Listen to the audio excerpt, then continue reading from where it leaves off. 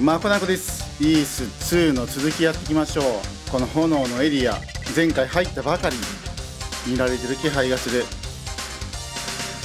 ここなんだっけかな？結構この炎のエリアというとイース3の方にちょっとねなんか記憶があるんでね。魔物の気配がするだけどこれどうすればいいんだろうな。えあそこでテレパシー使うとか？そうじゃないよね。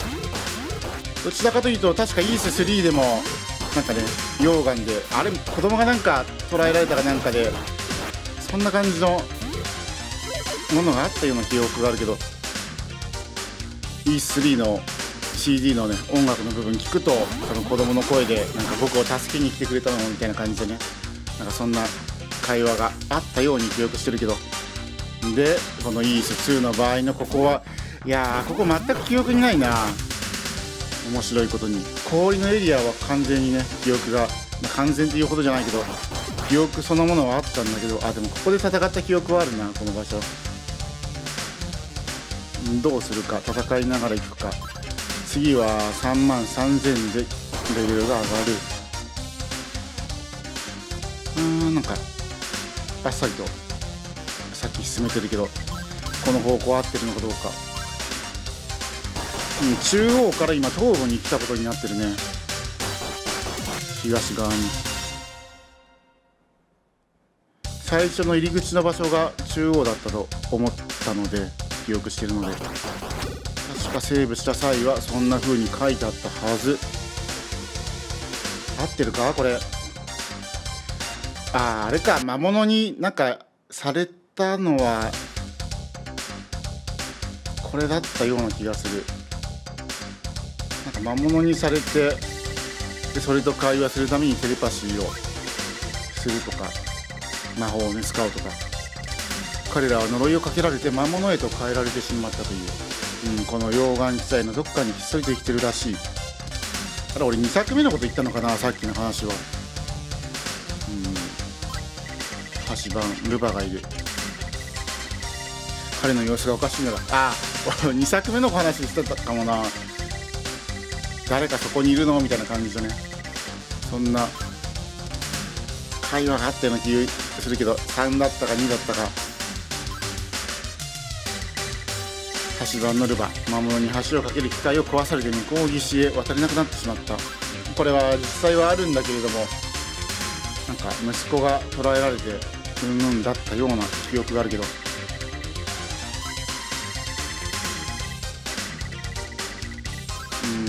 の様子のおかしさに関しては特段話がない。さてどこか行けっていうことだと思うけど。あもしかしたら魔物の姿でルバと会話すればなんかあるかな。一旦戻りましょう。するとなんか子供を返してくれとかそんなこと言ってくるような気がするけど。やってみましょう。テレパシーうんやっぱりそうだね。お約束通りアドルは渡らせませんでしたよ。私の息子は本当に無事なんでしょうね。きっと何度でも来ますよ。もう一度来たら私はどうすればいいんです。これ目の前でテレパシー解いて。あ会話しない。反応しないね。さっきの魔物は君だったって。うんこれから話すことは誰にも言ってはならんぞ。なんで命令されなきゃいけないんだろうね。私の息子が魔物に囚われてしまったのだ。その後彼らはこんなことを言ってきた。そこにアドルという赤毛の少年がやってくる。アドルに橋を渡らせるな。ということで君がここに来たためにこんなことになったのだ。なんていう責任転嫁。おそらく息子はどっかに閉じ込められているはず。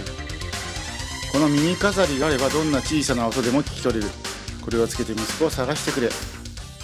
そっかそっか。さっきの話は2作目か。でも3でも溶岩の場所ってなかったっけか？あ3もやりたいなそう考えると。出してくんないかな？なんかどうやらもう権利は日本ファルコムにあるらしくて、まあ、ずっとコナミが持ってるのかなとか思ったけど Wii で発売された段階でもう日本ファルコムが発売元となって Wii のバーチャルコンソールで出してたようなのでとなるともしかしたらね日本ファルコムが出そうと思えば出せるんでね当然それを作るためのね手間とかもあるんだろうけどなんか期待ねしたいような気がするけど。何らかの形で3と44やりたいね。ほんと3はまだストーリー覚えてるけど4なんで全然ストーリー覚えてないから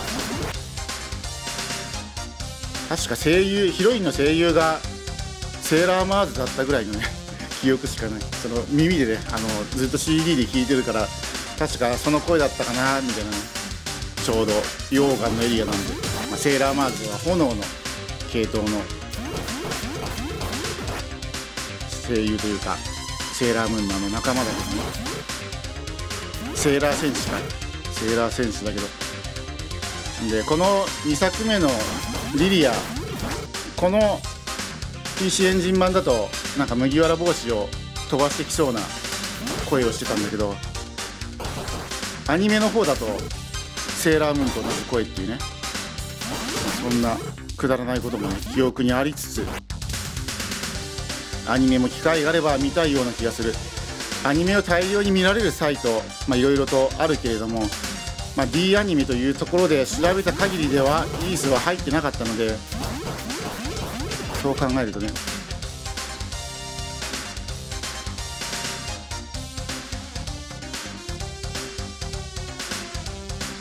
なのでこのイース2プレイが終わってどっかで時間作って見たいような気がするけど。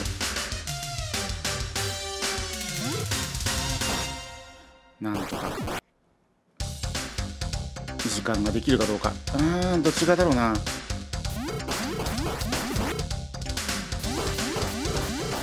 側ではない。で間もなくレベルも上がりそう。ついでにレベルも上げちゃいましょうか。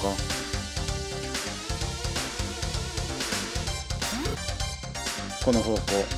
ああー！セーブしてなかった。バカやった。うわー気づくの遅れた結構遠いぞこれは。あこれどこだ？あれどこだこれ？えー、っとどこだかわからんが多分テレパシー云々のことをまたやらないとダメなくらい戻されたような気がする。じゃあそこまで進めておきます。では村から出てきてうんどの方向だろうか。今は最初の方向に戻っているところだと思うんだけれども。いやまさかの。倒されようとは。危ない危ない。うん。また経験稼ぎもやらないとね。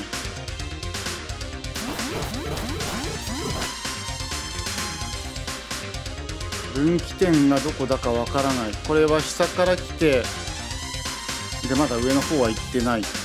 でも上の方行ったらダメだったんだよね。どこだっけかな。あーちょっと怖いな。また溶岩エリアに入ってしまいそう。ここだっけか。まだ大丈夫。まあ、ここら辺多分テレパシーやればまた会話できると思うのでモンスターと。それによって場所とかは把握できるはずなんだけどね。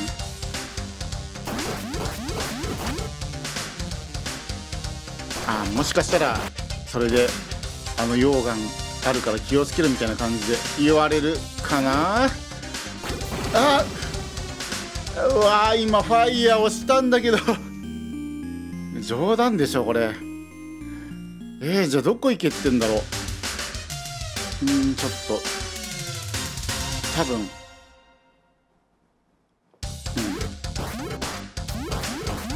ある程度のところでセーブはやってあるんで。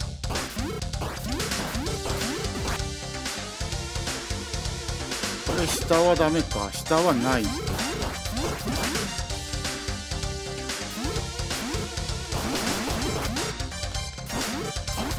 ない危ない。危ない危ない。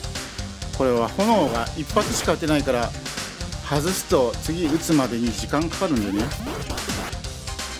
それによってボケーと待ってるとダメになる。ここだよね確か炎のところ。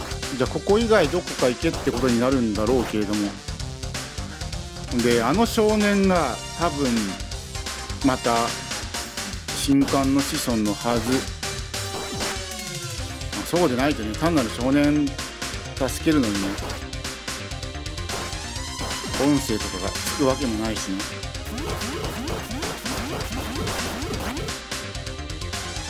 あーどこ行けばよかったんだっけかな。でも最初のところで声が聞こえるという話があったので念のためそっかそっか。あ早めに耳飾り装備するか。それともどこか目的の場所見つけてから装備するか。道中衣の付け替えが面倒なんでね。あーどこだろうね。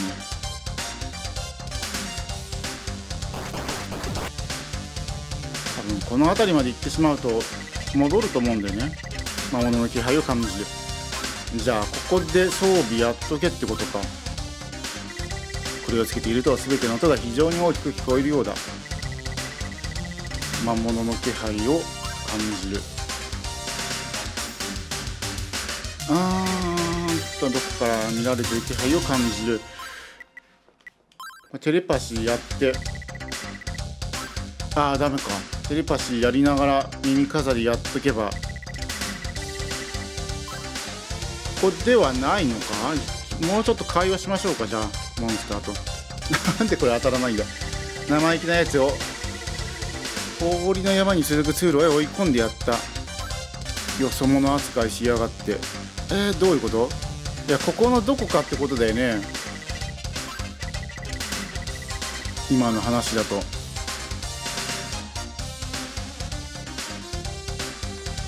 どこかある？あー見られてる気配を感じる。だがわからない。さすがに氷の方には行かないと思うので。え何をやればいいんだろうな。耳飾りであ耳飾りここアイテムとして使うのかな。いやでもさっき使ったもんね。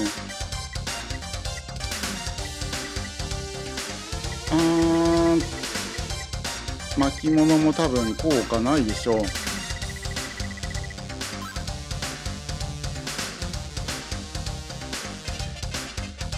どこだろうな。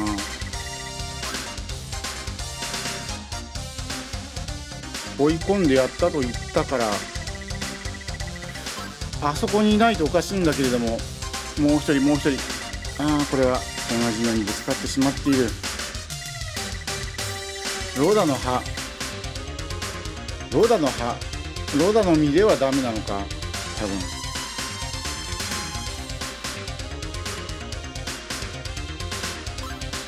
あなんか変わったセリフ言ってた？ああなるほどね。うまい木の実が落ちてんだ。あれか。場所はわかるけどあれさっきでも触ったような気がするんだけどその時は全く反応なかったんだよね。これ話が進んでからアイテム取れるようになるのかそれともそうじゃないのか。アードルというやつが紛れ込んでいるらしい。ここも関係ないか。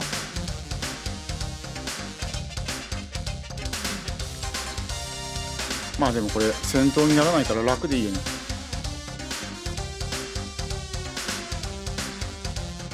うんじゃあ場所としては溶岩の先か。あれこれじゃないの？えこれじゃなかったっけか？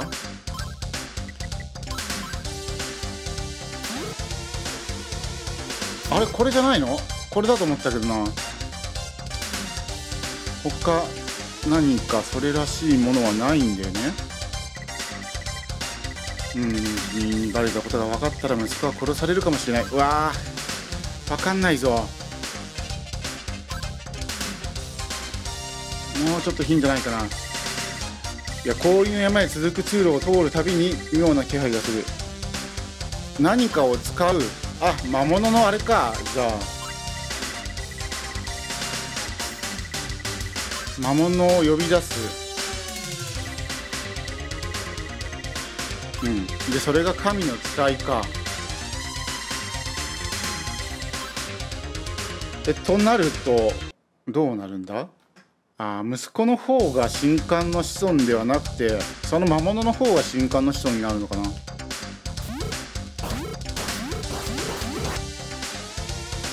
ょっとストーリーまでは覚えてないけれども。行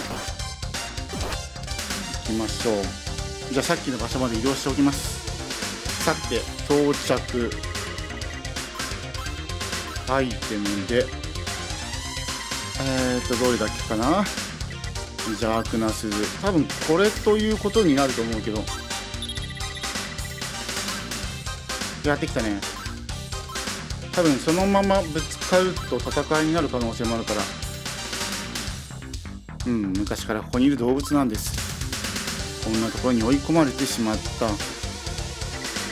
人間の男の子はガスの噴き出す通路の方へ連れて行かれた。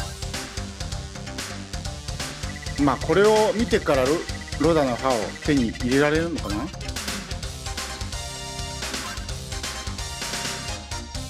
僕たちの仲間じゃないかいじめないでくれよ。この通路の先の溶岩の岸辺に落ちていた。南の岸辺を探せば見つかるよ。なるほど。ああじゃああそこは違うのか。じゃあ装備解いて。攻撃できるね。かわいそうに。岸辺にうん。ローダの葉発見。あじゃああそこは何も関係ないのかな自分が村の中でここじゃないかってね言っていた場所。でこれによって通れなかった場所も通れるようになるのでそこまでの移動はやってきます。さてこの場所やってきたもうすでに HP 減ってるけどロダの葉使うと問題なく通れる。では進んでいきましょうか。うんと手前からでいいかな。う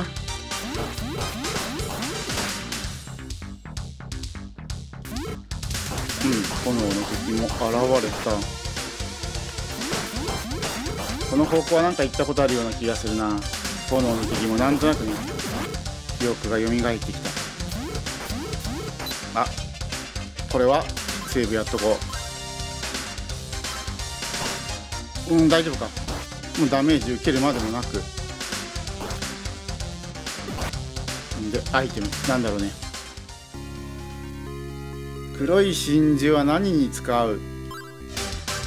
これ最後なんか倒す時に使うのかな？あのアニメ版の2作目の方はなんかほぼほぼリリアがなんかこういう真珠みたいなものを使って敵をなんか弱めるっていうねものがあってなんかほぼほぼアドルじゃなくてリリアが倒したんじゃないかっていうね。そんな風に見てたんだけど。多分その手のアイテムだと思う。うわあ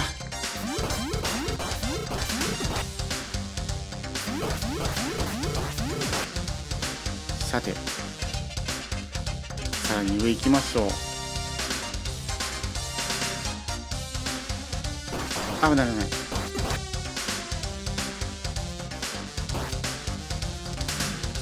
まあもんなく到着だと思うけど。うんこの辺りじゃないかな。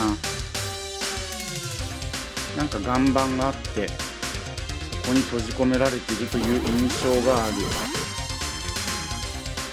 うんここでアイテムえ、っとこれか。岩の裂け目の奥にその気配がする。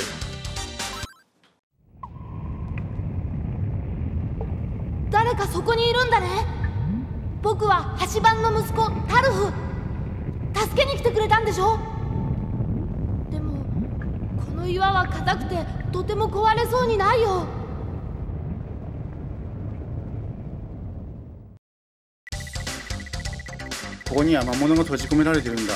でもそいつは襲ってこないし不思議なことに言葉が通じる。ヒース。うん懐かしいね。黒い真珠を持ってきてほしい。うん。なんかもうアイテム揃ってる。装備しないとダメか。中を覗き込むと奥の方で小さな炎が燃えている。岩の先目の奥へ手を伸ばしてよ。うん。光が溢れ出して牢屋の入り口が開いた。反対方向から出たってことか。じゃあ村まで戻っておきます。多分だけどこれワープの杖リターンか。戻れるね。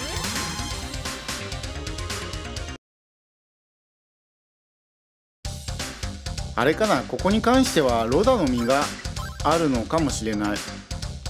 でも今は持ってるから取れないとかね。その可能性はある。話は聞いた。うん。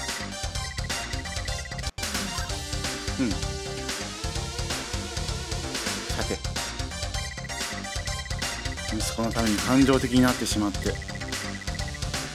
私をかけてあげよう。一方息子の方は？うんこれが瞬間の子孫ではないか。でもその割には声優はちゃんとついて声喋ってるんでね。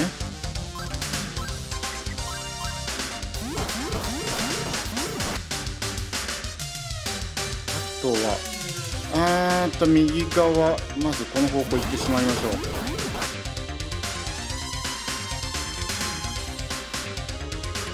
多分こっちの方が正しいと思うけれども。今行ってない方向に何かあるかもしれないと考えると戻って確認しましょう。宝箱があったら後で取りに帰るのは大変。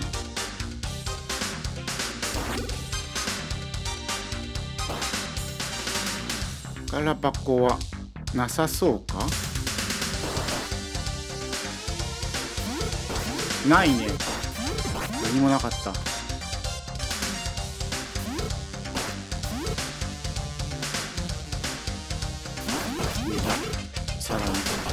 進みます。なんだかんだで記憶があったりなかったりって感じでね。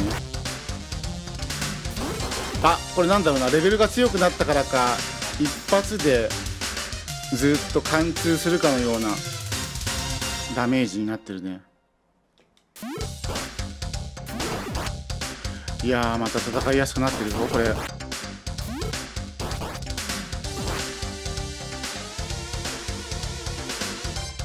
うん。ボス戦セーブやっていきましょう。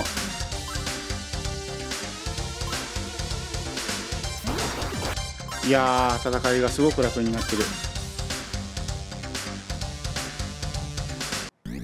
ここはどんなんだっけかな。まあいずれにしてもファイヤーの魔法。あ弾かれた。なんか上がるんだっけか？いやそうでもない？ここ。いやちょっと待って。どっちだ？ダメージ与えるの。ないずれにしてもこれがまた戻るタイミングで。え待って待って。なんか全然ダメージ与えられてないんだけど。まだレベル低いのかな自分が。これやり直しましょう。ちょっとレベル上げやってからあそこで戦いたいと思います。では一つレベル上がったのでまた挑んでみましょう。どれぐらい与えるダメージが変わってるか。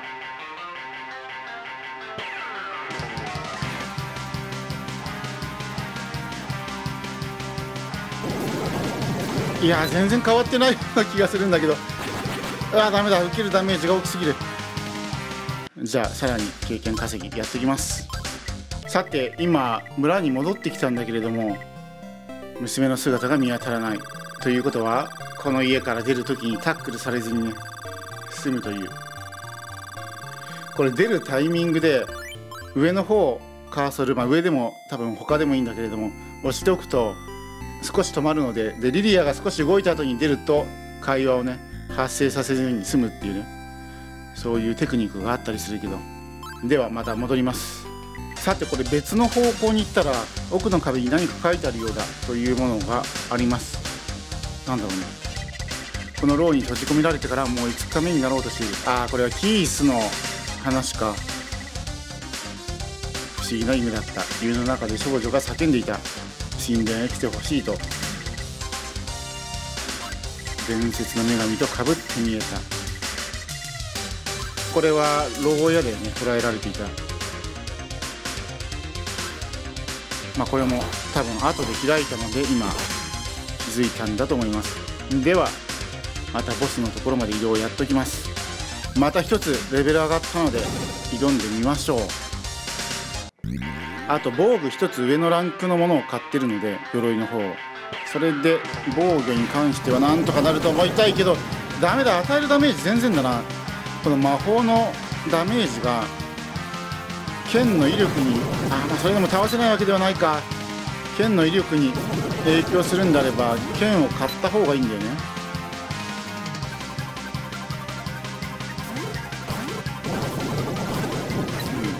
でも倒せなくはないんでね。剣は5000ぐらい。かかるので。ダメか間に合ってない。うわ食らった。できれば近くで攻撃やった方が連射できるからいいんだけどね。うまくポジションが取れてないと。あーダメだ。何やってるんだ。もう一つレベル上げるか。また剣買うかやりたいと思います。さてまた戻ってきて武器買っときましょう。でアーマーの方はもうすでに買ってあるのでプラチナメイル。あとはラージシールド。8000ほどお金貯めてまた戻ってこようかと思います。でレベルも一つ上がっているのでもう次ボス戦行ってしまいましょう。では再び行きましょうか。セーブするの忘れてた。セーブするの忘れてた。これはいかんぞ。ちゃんとセーブやっといて。どうなんだろうな。武器の威力が魔法に反映されるかどうか。もしされるんであればもうかなり強くなってるはずなので。まあでもそれでもな。んだか受けるダメージ。まあそっちは大丈夫だけど与えるダメージはそこまで大きくない。うんでもあと1回か2回ぐらい打ち開けば倒せるでしょう。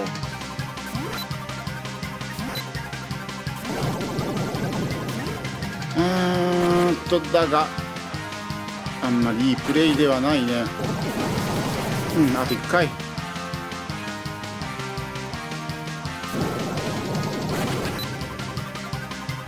レベルを上げれば何とでもなるかなといったところ。ミスクリア。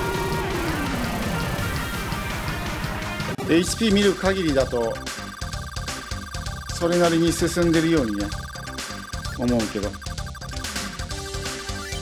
らに進むとどこにたどり着くか。